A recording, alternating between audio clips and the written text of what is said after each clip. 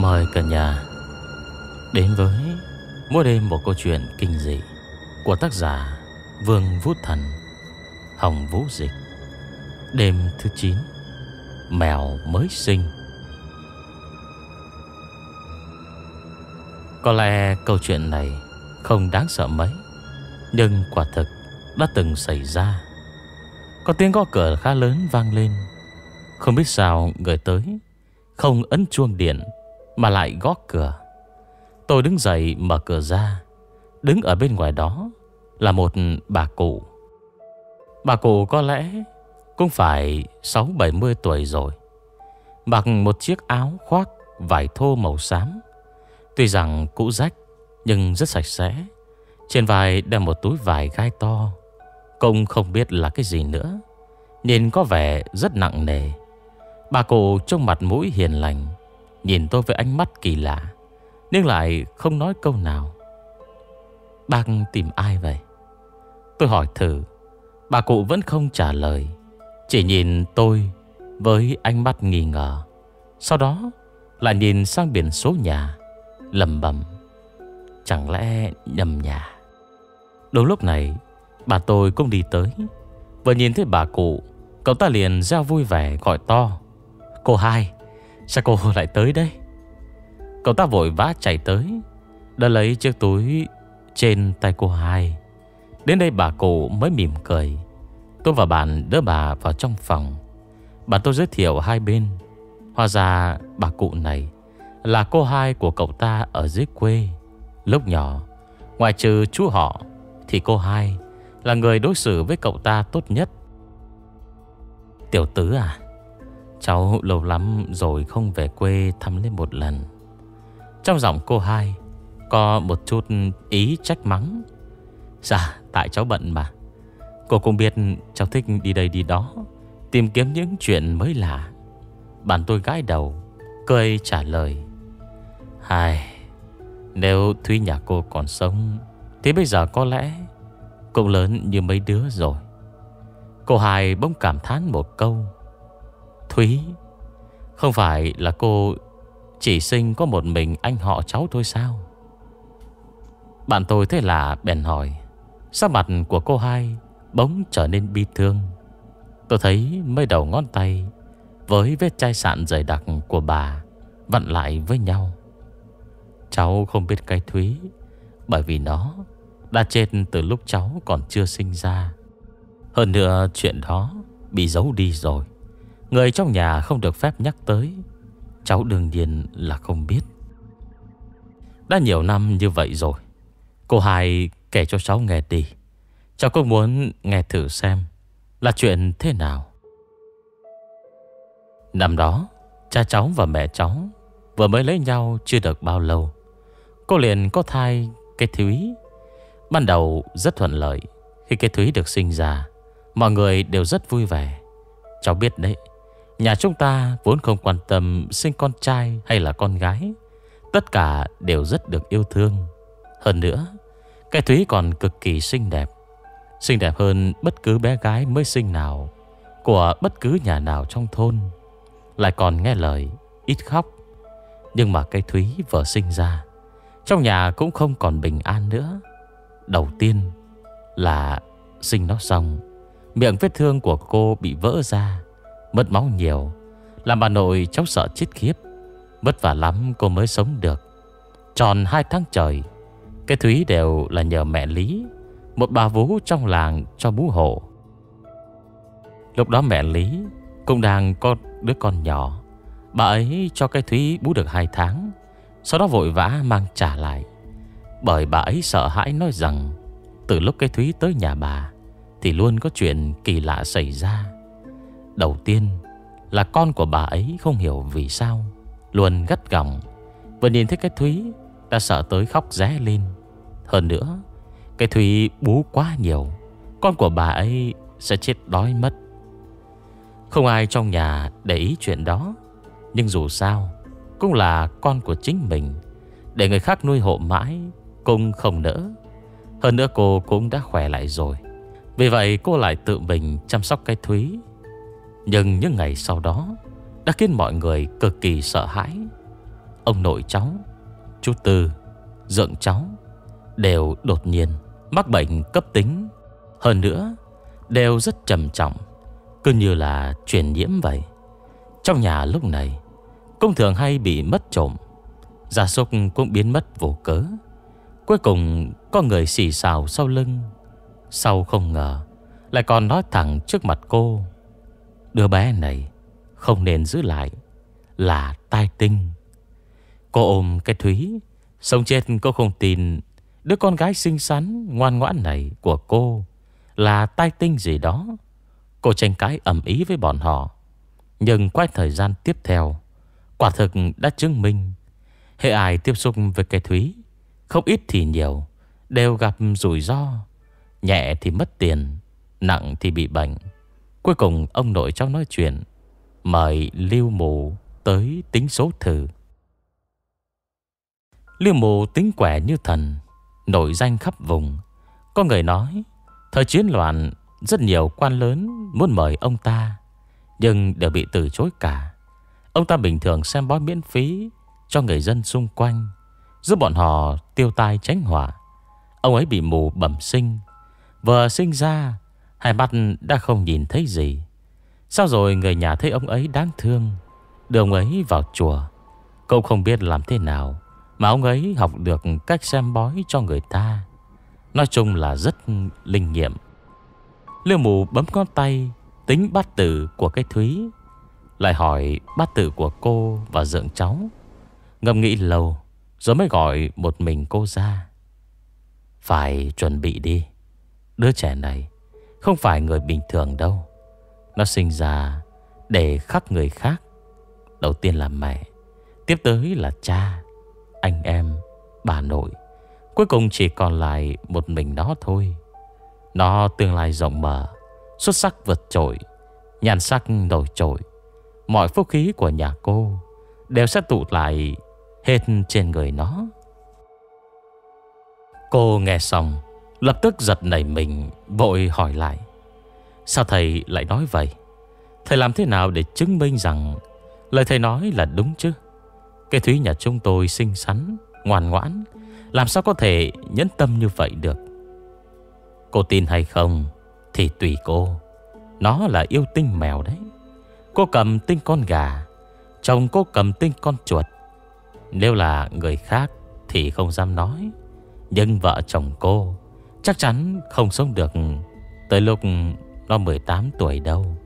Nếu cô không tin, Tôi sẽ vẽ một lá bùa trước ngực cô. Còn gái cô tuyệt đối Không bú sữa của cô nữa. Đành phải để cho nó Đói chết mới cứu được người nhà cô. Cô đành mang theo tâm lý thử xem. Để Lưu Mù vẽ một lá bùa ở trước ngực. Lưu Mù vẽ xong còn đặc biệt nhắc nhở, Ba ngày sau, Đứa bé sẽ chết. Trước khi nó chết, Sẽ có rất nhiều mèo tới đưa. Tuyệt đối không được ra ngoài, Cũng không nên khóc to tiếng, Vậy mới có thể bảo vệ gia trạch bình an. Quả đúng như vậy, Ngày hôm đó, Cái Thúy không chịu uống sữa nữa, Mặc kệ cô dỗ dành thế nào, Nó cũng không chịu. Hơn nữa, Còn cực kỳ không thích cô. Cứ luôn lấy tay đẩy cô ra. Trái tim cô cảm thấy lạnh lẽo. Chẳng lẽ con cô Thực sự là yêu tinh mèo sao? Không có sữa, Cái Thúy nằm trên giường, Khóc ngặt ngặt vì đói, Khiến cho cô cảm thấy cực kỳ khổ sở. Cô thực sự muốn xóa lá bùa đi Để cho nó bú, Nhưng bị người trong nhà cản lại. Nếu thực sự là yêu tinh mèo, Vậy chắc chắn là tới để đòi nợ rồi. Cho dù cô không cần mạng mình, Thì cũng phải suy nghĩ tới những người khác trong nhà nữa. Cô cứ vậy mà nghe cái Thúy khóc, Trái tim giống như bị ai cầm dao cứa vào vậy.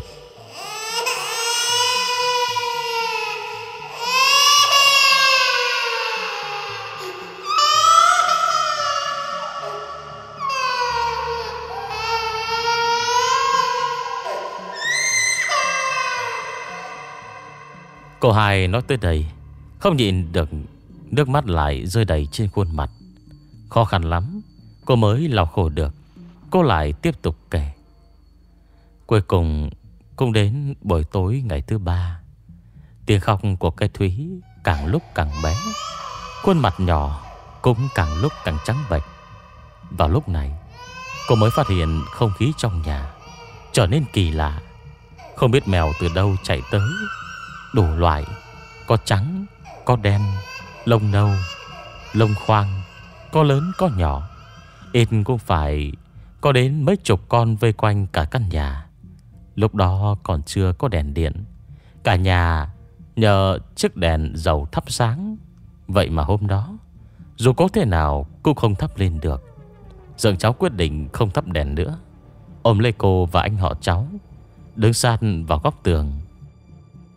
Tình hình lúc đó Không cần nói, Cũng biết là giận người thế nào. Trời càng lúc càng tối, Mà mèo tới thì càng lúc càng đông. Cô nhìn không rõ được bọn chúng, Nhưng có thể nhìn thấy mắt chúng. Từng đôi từng đôi mắt Xanh sáng lập lòe trong đêm tối. Chúng dường như Hòa cùng tiếng khóc của cái thúy Mà kêu gào. Cháu có thể tưởng tượng được Hơn trăm con mèo Cùng giết gào là cảnh tượng như thế nào không? Chúng ta nghe, Mà cơn như sắp phát điên. Anh họ cháu sợ tên nỗi Ôm chặt lấy cô.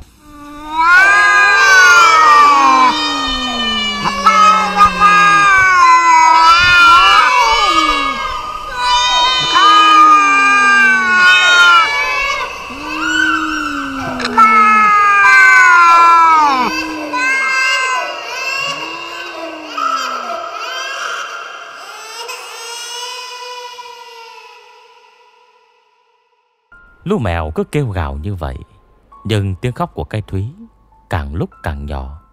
Cuối cùng không còn tiếng gì nữa. Đàn mèo này vẫn không chịu rời khỏi, Cứ vây tròn xung quanh. Tiếng kêu cũng càng lúc càng trầm. Đúng lúc này, Bên ngoài bỗng có tiếng mưa to. Cháu không biết rồi đấy, Người xưa thường nhắc nhở chúng ta rằng, Thế mà khi trời mưa to, Có mèo xuất hiện, Phần lớn là có chuyện không hay nhưng con mèo đó cứ đứng mãi ở chỗ cũ mà không chịu đi khỏi. Chỉ không ngừng mà phát ra tiếng kêu gầm gừ từ trong cổ họng.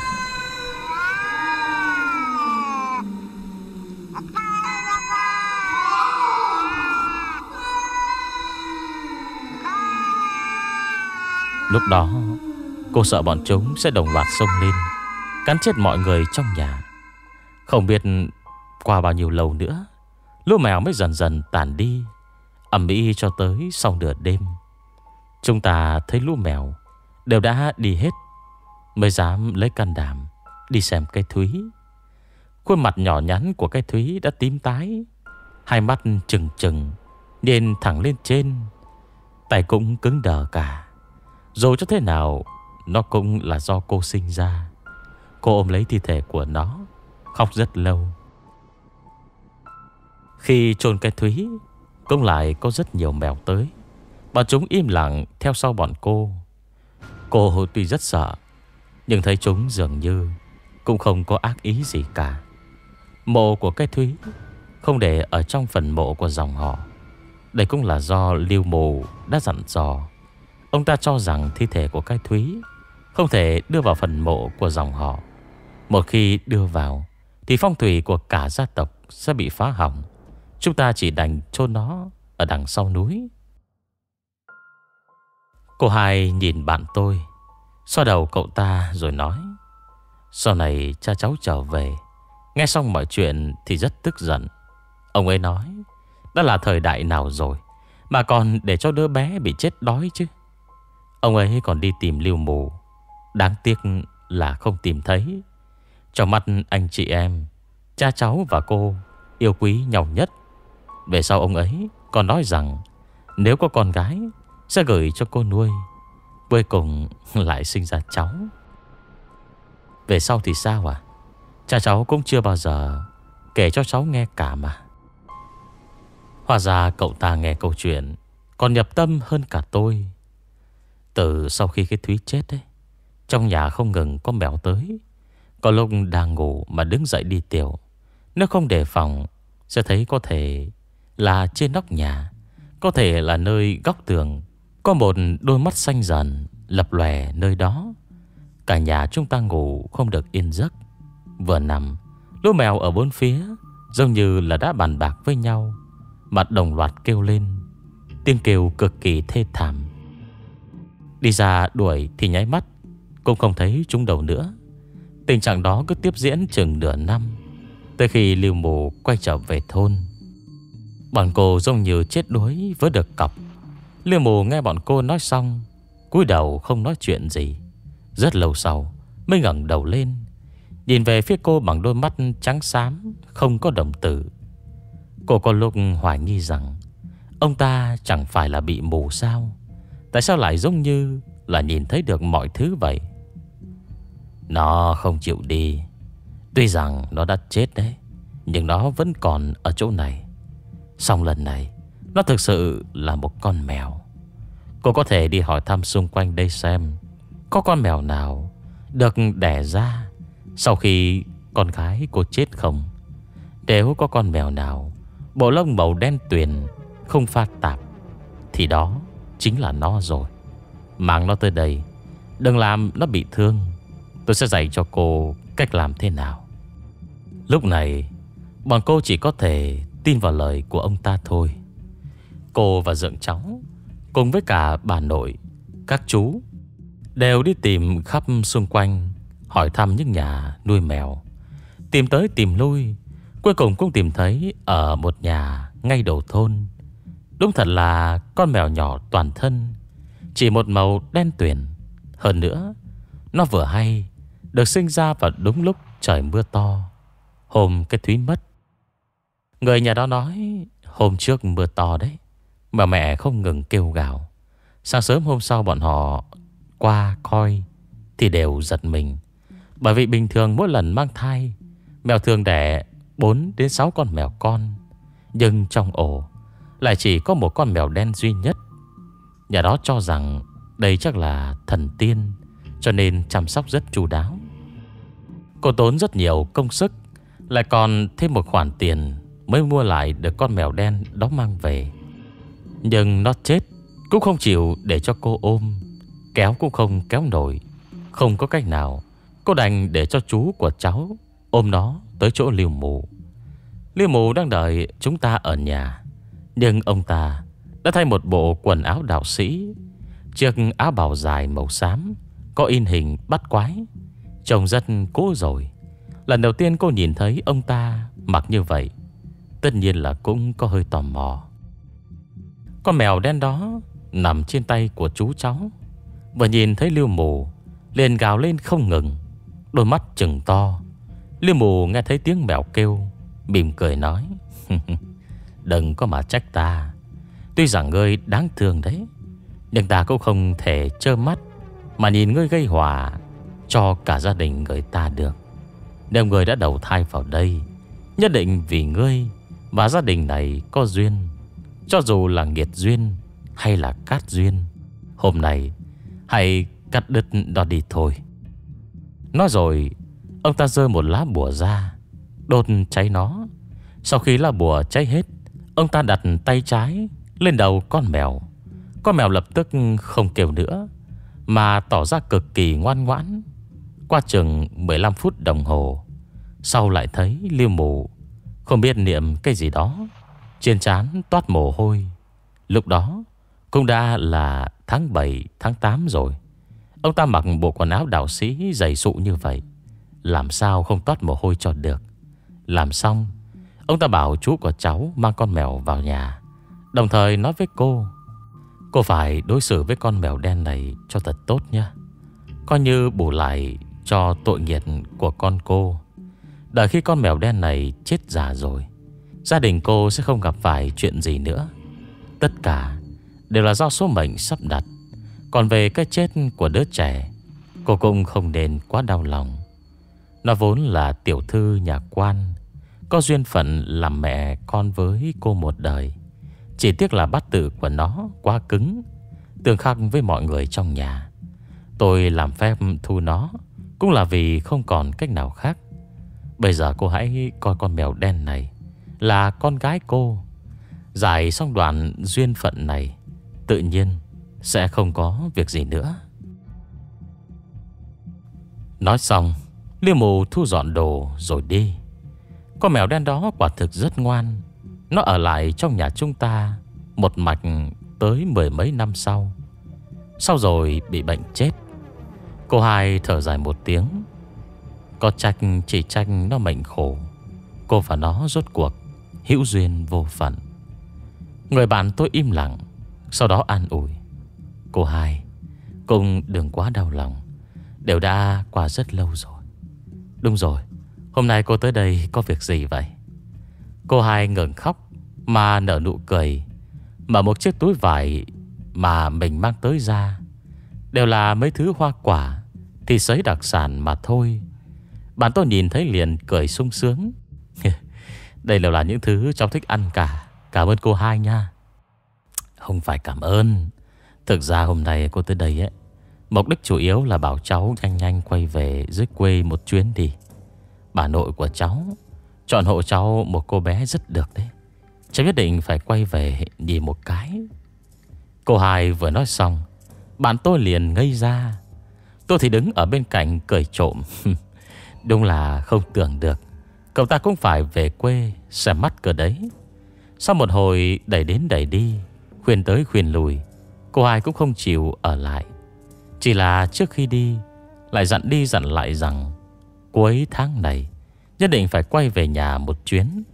Có được hay không cũng không sao, Nhưng chắc chắn là phải về. Câu này y nguyên lời của cô hai bạn tôi. Tiện cô hai đi rồi.